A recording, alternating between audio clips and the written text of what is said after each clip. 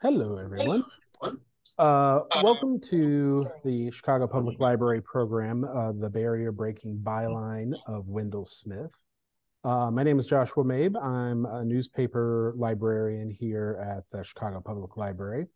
And uh, yeah, today we're going to have the editor of the book, uh, Michael Scott Pifer, and uh, a, a, contributor to the book, um, Michael Marsh, here to talk about the book, talk about um, uh, uh, Wendell uh, Smith's legacy and his writing and his work and his life. Uh, so yeah, let me let me just make a brief introduction to them both. Some of the research was done here at the Chicago Public Library, and we've got a lot of resources for newspapers and periodicals, especially focused on Chicago um, uh, material. So if you have any questions or want to access any of that material, come check us out anytime. We're on the fifth floor of the Harold Washington Library. Um, so yeah, Michael Scott uh, Pifer is the editor of the Wendell Smith Reader, selected writings on sports, civil rights, and Black history by Wendell Smith. Uh, he lives in Gainesville, Florida. Uh, and Michael Marsh is a paralegal and freelance writer based in Chicago, Illinois. So uh, yeah, let's welcome Michael and Michael. Thank you. Thank you. Yeah, hi guys. Uh, so yeah, I think uh, um, Michael Scott, you want to um, give us a little introduction on the book, uh, what's what it's all about, and the motivation for, for producing it? Yeah, the original intent was I wanted to do a biography of Wendell Smith. That's also something I did not know Michael had been working on for 25 years. Uh, so I switched over to do um, editing uh, a collection of his writings. And then Michael came in to do the introduction, which really is sort of a bio sketch. It's about 15 to 20,000 words, but it's about as thorough as a biography or a bio sketch as you can get.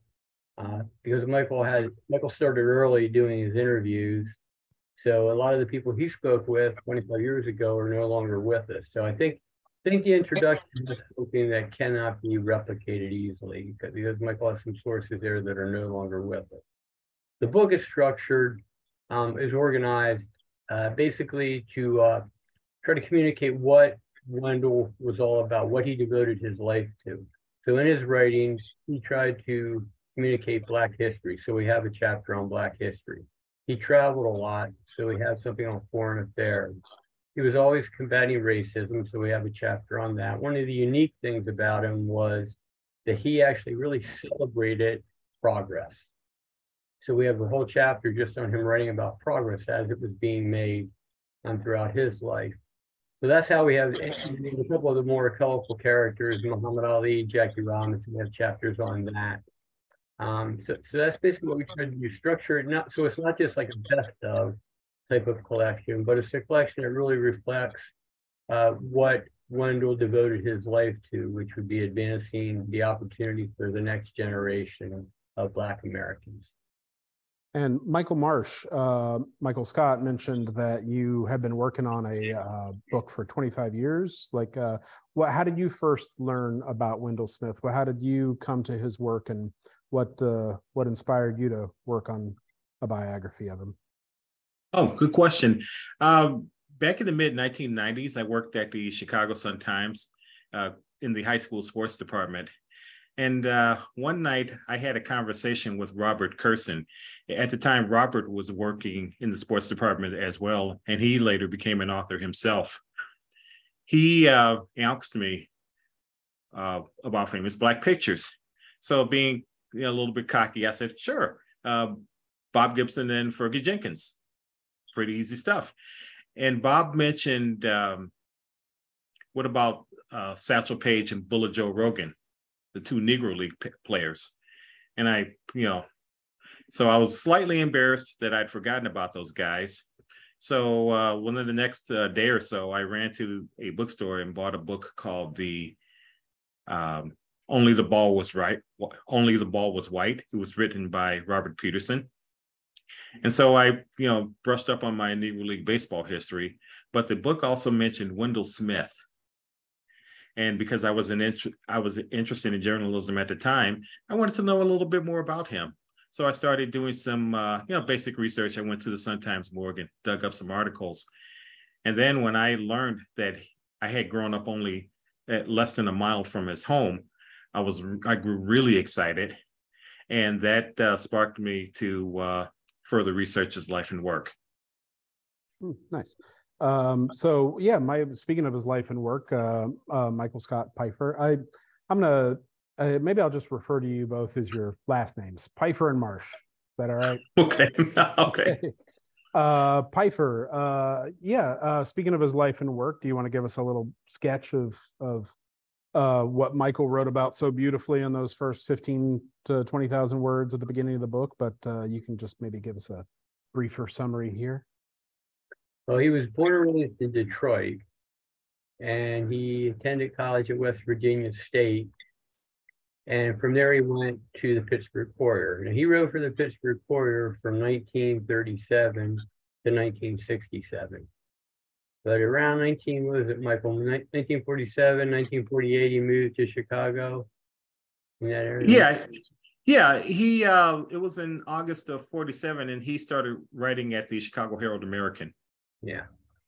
And he did that for about 15 years. He was actually a, uh, I think he was initially brought there to write about boxing. So, well, we all know about him as the guy who wrote about Jackie Robinson. Wendell wrote as much about boxing as he did about baseball. But then he became a beat writer for the White Sox from 1959 to 1963. And that was unique because there really weren't many black baseball writers at the time. So that was that was a big deal. And from there, he actually started going into broadcast journalism. And that was one of the real advantages of bringing Michael into the project because I'm dealing only with his writing. But so much of what Wendell pioneered was actually in TV and radio. So Michael was able to really hit on that, address that heavily in his introduction. But Wendell never stopped writing. Um, he wrote for a couple of years. He had a column with Chicago Sun Times, and he even wrote a couple of book reviews for the Chicago Tribune.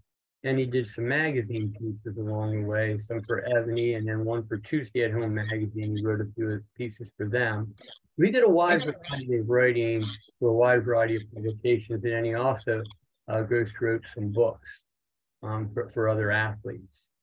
So he had a he had a writing career that spanned a wide range, but I really think the thing that uh, Michael brought into the fore was his broadcast journalism. And there probably at, at some point in time, that would be a great opportunity for a documentary, a film of some sort, to really either Wendell's work individually or maybe just a collection of the pioneers um, in Black broadcast journalism. And the thing to keep in mind about what, from day one, Wendell practiced what you would call advocacy journalism in the long line of uh, Black writers before him, Frederick Douglass, Ida B. Wells. He was constantly, he was advocating for equal rights, but that idea of advocacy journalism is something that's really important. And I, I noticed that word, that phrase is used a lot in the uh, foreword and introduction. And would that be how Wendell Smith would phrase it himself? Was that was that the term of the time? Is that what he referred to his own work as? I, I Michael, I, I think go ahead, Michael, take that. He uh it's definitely a um a term that arguably uh you know used by journalists. But um uh, one of the key parts about Wendell Smith's career was that uh, he was an advocate and he definitely uh, pushed for uh, advancement of African Americans, particularly in sports. However, he he was also a very well-rounded journalist. Uh, he was not a racial demagogue in terms of uh, you know criticism. He was an equal opportunity critic. He was a very good writer. He was an established uh, interviewer, and he was a conscientious gatherer of facts. So yes, while he did um, advocate for you know black athletes. He, I, I think part of his uh, part of the uniqueness of his career was that he was such a well-rounded journalist uh, at the time.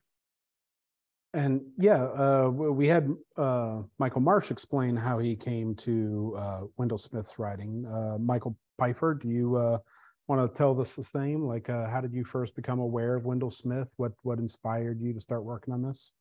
Well, certainly seeing the movie 42 because he was prominently um, portrayed in that. And surely there, there are a couple of books that mention his name. So I think from a couple different directions, his name hit me. And I thought, you know, that's a guy I'd be interested in learning more about. So I actually wanted to read a biography of Wendell Smith, and I couldn't find one. Couldn't find anything. And that's what really made me start looking into it. The fact that I wanted to read the book. So we ended up writing the book. Yeah. Um, yeah. Uh, um, one thing that I noticed in the book is he he he was a, a fierce advocate, but he also not conservative politically, but very proper and very seemingly uh, concerned with uh, decorum and um, I don't know. There's not a good way to phrase it. Like uh, you phrased it well because that that's a good point, and that's a perceptive point. He wasn't politically conservative, but he was behaviorally conservative, and Yes. because he was very conscious, as was Jackie Robinson, that they were being watched. There's a lot of people who would like to see them stumble and fail. So they don't want to feed that. So they really were conscious of how they behaved, how they treated people. Um, Wendell even wrote a couple of columns directed to fans, black fans, to say, hey, you guys are being watched too. So it's really important. We're all in this together. We all have a role. We have to behave properly and we have to show we belong. We're Americans. That's what we want to be. We don't want to be Black Americans. We want to be Americans. But but to do that, we have to be good on and off the field at all times. So yeah, that that was that was an important part of of how he behaved. His behavior was conservative, but he was. I think we're pretty sure, Michael, he was a Democrat, right? So I mean, he totally conservative. Oh, he's definitely uh he was definitely a Democrat. He uh and as you know, he spent uh m- much of his uh work work working life here in Chicago and he also lived on the south side of Chicago, which is a democratic uh is a democratic town. Um and uh, Scott is act- actually is very correct about uh Wendell Smith being a Democrat. And I and I- I should also uh point out too that um part of the reason why he was so interested in Jackie Robinson is that he felt that the in, by integrating Major League Baseball, he was helping uh, to advance American ideals of uh, equality and democracy. But um, Scott, Scott is right. I mean, politically, I, I mean, uh, on a personal basis, uh, Wendell Smith was rather conservative. I mean, uh, we all have to remember he was born in 1914, so uh, you have a different. Um, different mentality in the black community at that time. Uh, in fact, um, Will Smith was very uh, bothered by the fact that Muhammad Ali had changed his name from Cassius Clay to Muhammad Ali. That that what really wasn't done. So yeah, it was back when respectability politics had a different meaning and a different uh different impact. yes, Um, but uh, yeah, speaking of, uh, we brought up Jackie Robinson a couple of times, but I mean, eh, I guess that's the part of his life that has been the most talked about and the most uh, fictionalized in the movie 42, as you say. Um, can we, can you tell us just a little bit about that, you know, that biggest part of his life, his, his, his early interaction and uh, the promotion of Jackie Robinson uh, through his, his work? oh sure, I can uh, talk talk about that. Um, it's very interesting. Wendell Smith first met Jackie Robinson when when he took Robinson and two other black ball players to Boston for a trial with the Boston Red Sox. So I'm I'm assuming at that time uh, Wendell Smith was able to size up Jackie Robinson. On the way back to the Pittsburgh Courier, Wendell Smith stopped by uh, the Brooklyn Dodgers offices where Branch Rickey was having a press conference about starting a new black baseball league. After the press conference, Rickey pulled Wendell Smith aside and asked, which of those did did did any of the ball players that Wendell Smith took to Boston uh, have what it takes to make the major leagues? Funnily enough, Wendell Smith picked Jackie Robinson. It's, it's actually rather surprising. The other two guys, Marvin Williams and Sam Jethroe, were veterans of the Negro Leagues and had in fact played uh, uh, in the All Star game. On the other hand, Ro- Jackie Robinson was only in his first season uh, with the Kansas City Monarchs. So, we, so we know that um, Wendell Smith saw something in Jackie Robinson during that trip to Boston that made that compelled him to recommend Jackie Robinson to Branch Rickey. Uh, afterward, um, Wendell Smith traveled with Jackie Robinson um, in 1946 and also 1947 to uh, serve not only as a mentor but to help him uh, uh, with travel accommodations in cities that you know were you know segregated at the time. And as you know, uh, Wendell Smith also ended up writing uh, the first biography of Jackie Robinson. So, uh, so they developed a pretty close relationship at one time. And that probably did that overshadow his career? Was he always known as like I mean not overshadow, but did that always uh, uh, loom large in his career? Where would would he be the Jackie Robinson guy, or was he? I mean, he obviously developed a career for decades after the oh. fact, but was he always was his legacy always tied to Jackie Robinson? Well, uh, yes and no. The fact is, Wendell Smith made his career. I mean, that's his career. Uh, uh, his first that's that's a major break for Wendell Smith. But um, as I mentioned earlier, he was a well-rounded journalist, so he did move on uh, to other advances in his career. Uh, yes, uh, the Jackie Robinson uh, campaign uh, pretty much established Wendell Smith as a prominent journalist, but journal- Wendell Smith later he moved on. as you mentioned earlier, he was known as a very um, good boxing writer and one of the tops in his field. He um, also became sort of a pioneer here in Chicago. And if we go back to his broadcast career, he was one of the first uh, blacks hired to uh, work in television here in Chicago. And he was, in fact, the first uh, black um, sportscaster here in the city. Uh, he also was the first black president of the uh, Chicago Journalism Club here. So um, uh, Wendell Smith had gained the respect and admiration of many of his peers here in the field, and he also served as an inspiration for other uh, blacks here in Chicago. The um, uh, Bryant Gumbel acknowledged that he was inspired by Wendell Smith uh, back in the 1960s when he was a high school student here in the city. Um, and Michael Pifer, let's uh, maybe go through the book as structured, as you said, it's structured thematically. Um, so you know, obviously, we there's a chapter on Jackie Robinson, a, a chapter on uh, foreign politics and racism, and uh, do you want to go into those a little mm-hmm. bit, like the major thrusts, the the major uh, subjects of his career? Yeah, there's always some subjectivity uh, when you decide which articles go into which category. I mean, technically, the whole thing could be one big chapter of fighting racism because that's what it all was.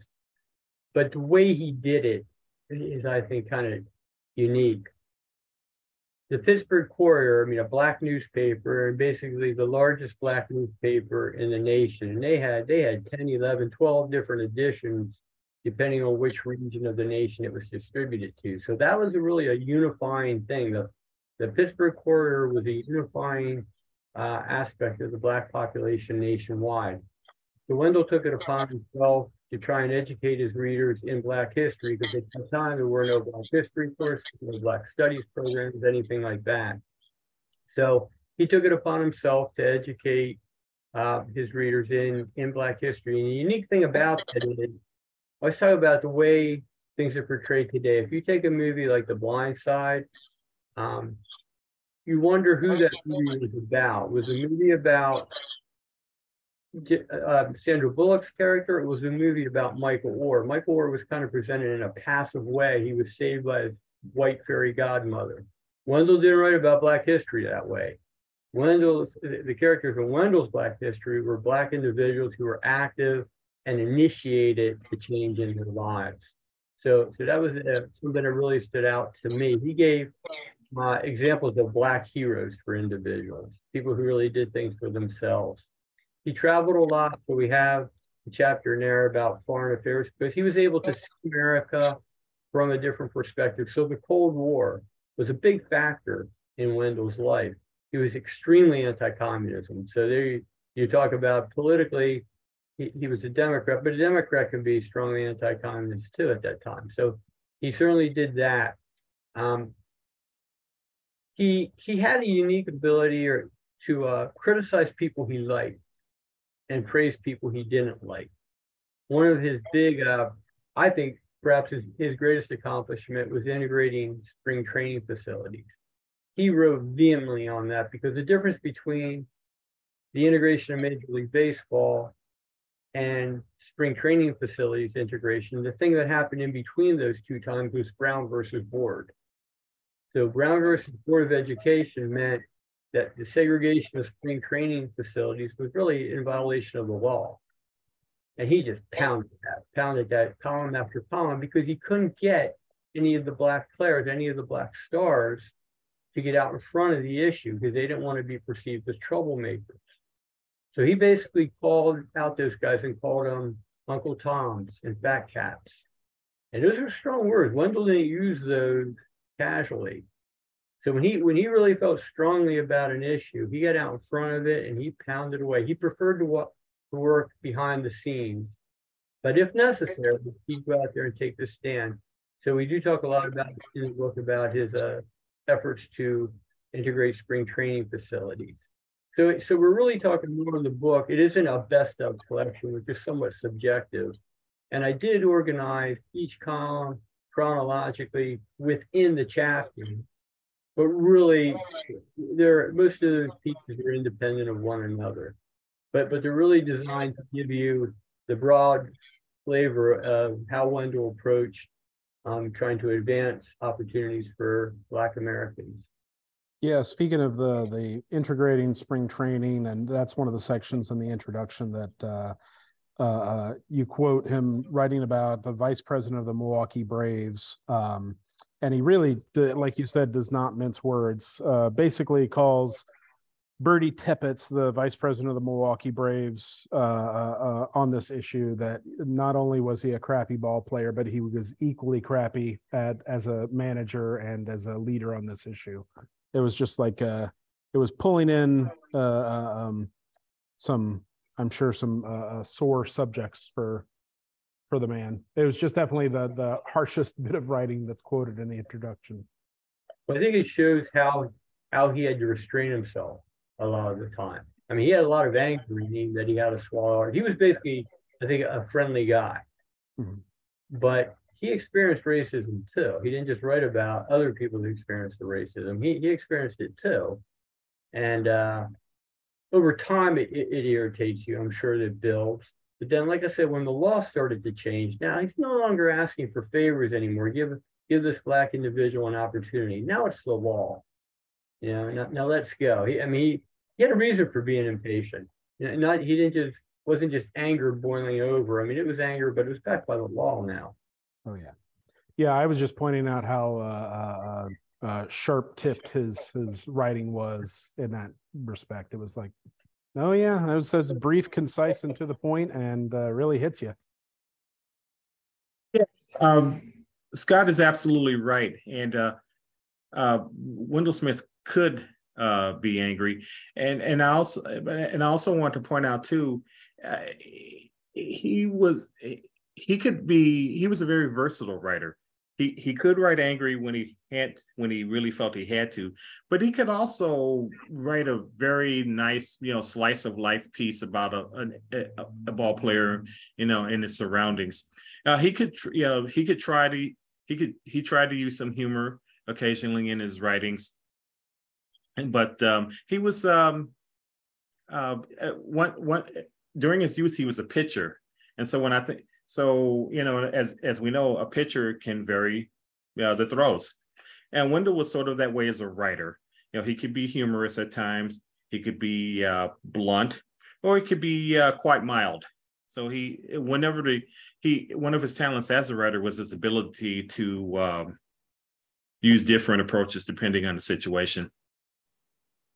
Um, so just to give like a brief sketch of, of the trajectory of his career, like we we've talked about, we've been jumping back and forth for every uh, all the all the writings he's done. But he started out the Pittsburgh Courier, and wrote there Yes. for a decade or so before he moved here to Chicago. Well, actually, he um, he was he was uh, basically full time at the Courier uh, from 1937 into 1947. Uh, in August of 1947, he uh, moved to Chicago and joined the, Chica- the uh, Chicago Herald American. So for maybe about five or six years, he split time between Chicago and Pittsburgh. And by the early uh, 1950s, he fully settled in Chicago and passed on the uh, the torch to another sports editor at the Pittsburgh Courier. And then uh, he worked in print journalism here in Chicago until until the early 1960s when he joined WBBM around 1963. And then a year later, uh, in 1964, Wendell Smith joined WGN Television, and there he um, worked until he passed away in 1972. And uh, so he was a broadcast journalist at the same time he was writing, because he also wrote for the Trib and the Sun Times uh, for in the late 60s to Oh. early 70s. Yeah, he uh, he he was able to uh, he was able to uh, work that out. Uh, basically, uh, Wendell Smith did make the adjustment to broadcast journalism, uh, but, but at, at heart he was a he was a newspaper guy. Yeah, the book Um, says some has some criticisms, mild criticisms of his sort of like uh, um, his announcer voice and his announcer, his personality as an announcer was maybe slightly lacking.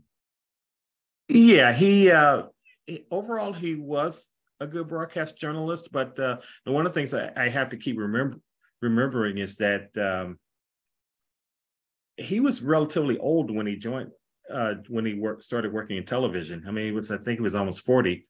And uh, so you're talking about asking a guy to, you know, who was a writer all his life to, you know, make the adjustment to yeah. Right. So he did make the adjustment in terms of his uh, writing ability, and he uh, developed, you know, a passable enough presence on television.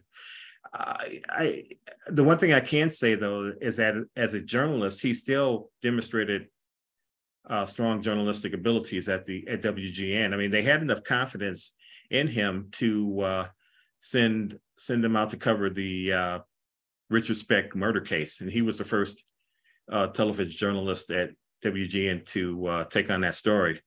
And he also he also was good enough to cover the Jimmy Hoffa trial back in the mid '60s. So he eh, he did have strong journalism chops. Yeah. Um, well, let's. Uh, by the way, I don't think we've shown the. Oh no! Oh no! Because of my background, I can't show the book. Oh well, kind of. Anyway, That's good enough. Thank you. yeah, uh, that's a little awkward with my little Zoom background. Uh, but while we're talking about the book, um, maybe both of you, maybe starting with uh, uh, uh, Michael Scott Pifer, uh, can go over some of your favorite pieces in the book, some of your highlights. Well, one of my favorite pieces was the uh, what he did in 1939. So he was only two years into his career. So he, you're talking about a guy like 25 years old, and he had been told that black players, black baseball players, and managers would not play with would, not tolerate black teammates, and he was told that by the commissioner's office and by some of the team owners. And he really showed strong journalistic skills where he said, I want to hear it from the horse's mouth. So he actually, uh, each National League baseball team came into Pittsburgh to play the Pirates. He interviewed players from that team. And it turned out 75% of the players he spoke with said, No, we'd be perfectly happy playing with black teammates. We want to win. And if that gets us winning faster, that's what we'll do. So right off the bat, he, really showed the ability, the, the strong journalistic sense to rather than just do the lazy thing and go find out what somebody says through a second source, actually go directly to the source and ask them. And I think that started to change a little bit of his own perception of uh, how much progress might actually be potential here in, in America. Because the first year of his writing, he was sort of confrontational and he, and he did a piece on saying to a black baseball fans, why do you even bother going to white baseball games? They don't want you. Just stay in the black community. I think some of those early pieces that he wrote in, in that those, those interviews with the uh, National League players as they came in really made him think, hmm, you know, there's some potential here to, to make progress as things are working within a system, so to speak. So, so that was that was a key. It, eight columns that you wrote, one for each National League team, and it took a lot of words, and I was limited how many words I could use. So I only used one of them. It was with the St. Louis Cardinals. But that was that was such an influential, um, such an influential set of columns that really you could see the tone starting to change. So that's one of my favorites. Yeah, and that was used in their uh, later on. They made a presentation. Wendell Smith and several other prominent uh, uh, uh, uh black leaders at the time made a presentation to Major League Baseball years before right. the integration, and that was used as a source material in their presentation. Unsuccessfully. I'm trying to remember. I know that uh, Wendell Smith and uh, several members of the uh, of the black of a black publishers group attended a meeting uh, of major league uh, executives to push for integration of the major of major league baseball, and I know that uh, Paul Robeson uh, led the uh, led the presentation, which uh, went nowhere. but Wendell Smith later pointed out that the one person in the room who who looked somewhat interested was uh, Branch Rickey. So go figure. Um, I should kindly point out too, um, uh, Scott did an incredible job of selecting the uh, the articles for the book, and uh, there was one in particular that I think uh, was especially uh, excellent. Uh, it, it's a column that Wendell Smith wrote about Muhammad Ali after his uh, first fight with Joe Frazier. So uh, Wendell Smith was the only reporter in in the uh, in the room, along with Muhammad Ali, Ali's trainer, the singer Diana Ross, and Muhammad Ali's mother. And it, the column was so well written. It was a perfect example of how a reporter should observe the loser's locker room. It was very, it was very empathetic uh, because it, it, was such an emotional scene because Ali's mother was there. She was obviously concerned about her son, and uh, Ali was comforting her as well as uh, Diana Ross. Uh, it was especially uh, excellent given that um, Wendell Smith did not really think much of Muhammad Ali as a bo- as a boxer. Uh, Wendell thought that uh, Ali was a little too cocky. So um, that is that's that's one of the uh, pieces that uh, really stand out in the collection. Um, yeah. Anything else you want to um, talk about the book specifically? Any other articles you want to point out? A yeah, lot of them are quite. Oh, go ahead. I was say, I thought one of the best, just the best writing, not just the sports related, but was on the assassination of uh, John F. Kennedy. When President Kennedy was assassinated, Wendell incorporated Ernie Davis, who was the first Black Heisman Trophy winner out of Syracuse, who before he even played his first game in the NFL passed away from leukemia.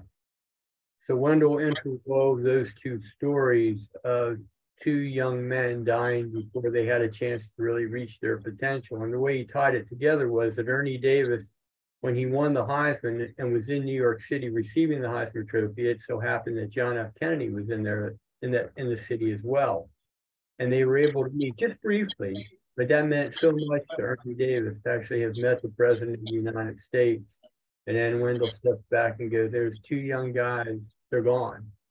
And it's just you can just tell he's just sad. He doesn't he doesn't try and use any flowery descriptions or anything. He just tells the story, and the story's just so sad. But I thought it was really writing. Yeah. I think there was another note, uh, another piece in the uh, collection that's especially notable. I, I, I remember Wendell Smith's piece about the female boxing trainer. Yeah.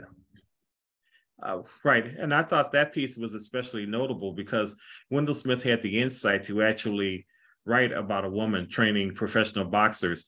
And this is back in the uh, I want to say 1940s. Yep, nineteen forties, So- yeah. Priscilla Yeah. Anderson. Yes, and uh, that column was, uh, I thought that piece was pre- pretty significant because it showed um, uh, Wendell's ability to uh, recognize talent regardless regardless of gender. I mean, so I I, I thought that column that piece was pretty important too, and uh, uh, Joshua. Uh, Yeah. Before this, the time is up, I really want to uh, give a shout out to you and the Chicago Public Library uh, because because there was some crucial bits of research that I needed to get done, and the Chicago Public Library uh, provided some assistance, and for that I'm I'm quite grateful. And that that that was three different departments: the Special Collections Department, uh, your newspaper department, and the inter inter uh, library loans department. Oh, yeah. I need, yeah, I needed all three. Um, and the, the special collections department in particular uh, had, had, has the uh, records from the Chicago Journalism Club that Wendell Smith uh, uh, served on for a number of years. So it was, it was nice to pick up uh, some, a few tidbits about Wendell Smith's time there. Uh, Yeah. Well, we're very, very much glad we were able to help and, uh, yeah, folks come look at the materials we have. Um, maybe we can open it up if anybody else wants to, we just got something in the chat here, so I'll read this. And if anybody else who's watching wants to throw out a question or a comment, we can do that. Um, so I get this comment here. His time with the Pittsburgh Courier co- coincided with a period when Pittsburgh was a hotbed of Black culture, sports, jazz, theater, etc. By the time he moved to Chicago, quote unquote, urban renewal efforts in Pittsburgh had started to destroy the vibrant but Black neighborhoods. Was that rise and fall commented on or reflected in any of Wendell's writing? I would say, uh, uh, unfortunately, no. Um, when uh, Wendell Smith moved to Chicago, he pretty much, um, I mean, he sort of focused on uh, uh, Chicago. Uh, so, um, even though Wendell Smith had served as city editor of the Courier, uh, to be honest, his focus was really um, more on sports. So no, uh, no, unfortunately, um, no, unfortunately, no. Yeah, he, he didn't really, even when he was in Pittsburgh, he didn't really write about Pittsburgh a lot. I mean, I know he had a, he was a friend of Lena Horne, the entertainer, uh, father, Teddy Horne. He palled around with him a lot. So he had that, he knew, he knew the performers. He, in fact, he wrote a column, I didn't include it in the collection, but with Lena Horne. Um, so- so he had that a little bit, but he didn't really write a lot about Pittsburgh even when he was in Pittsburgh. Yeah. Um, well, yeah, we'll just give it a, maybe you guys can, uh, uh, if you have any final thoughts on this, we can see if anybody else pipes in with a question or a comment in the meantime, but, um, yeah, anything else you want to say about the book or about the, uh, Wendell's life and career or? I just, if we could circle back to the, um, the issue of advocacy journalism. Just to be clear, advocacy journalism didn't mean you can distort facts or in any way misrepresent the truth. You're still pursuing the truth. It's just you have a certain perspective, a certain belief, and you're working towards that you're presenting your argument. But, but you still have to be fair, balanced, and, and not distort the facts. So advocacy journalism is not inconsistent with honest journalism. I, I agree, and um, I, I would um, uh, point out respectfully point out too that um, because Wendell Smith was in fact a well-rounded journalist over a 35-year career, I, I I feel like um, he it, it his status as a well-respected journalist, as a well-rounded journalist, uh, in a way enhances his uh, advocacy journalism or his uh, civil rights activism, because we know that when Wendell Smith approached a subject, he did it as a journalist and not as a radical settling racial scores. Um, he earned the, the respect and admiration of many of his peers. Uh, he served as a as a as a as an inspiration to other people. Um, and he was, in fact, a journalistic pioneer. Yeah. Oh, we, oh, got one more comment here. Wendell Smith ghost wrote a regular column for Jackie Robinson for the Pittsburgh Courier during Robinson's first season with the Brooklyn Dodgers. Um, I don't imagine you guys include any of his ghost writing in the, uh, Well, I- I mentioned uh, one piece in the introduction.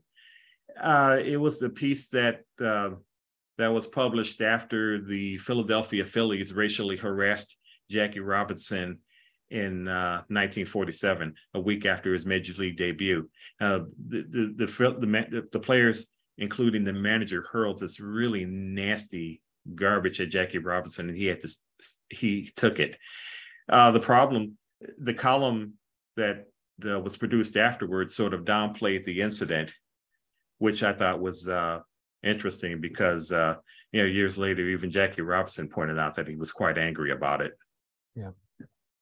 um, well, thank you both. I think we're coming up on our, our time here. So let me see. I try again to, to hold up the book here, the Wendell Smith Reader. Uh, I'll put up a better video of it for the YouTube at the end, but, uh, or a better image of the book, but, uh, check it out from the Chicago Public Library, buy it from McFarland Press, wherever books are sold. Um, yeah, and thank you both, Michael and Michael. Uh, Joshua, thank you. Yeah. Appreciate it. All right, thanks. Yeah, good night.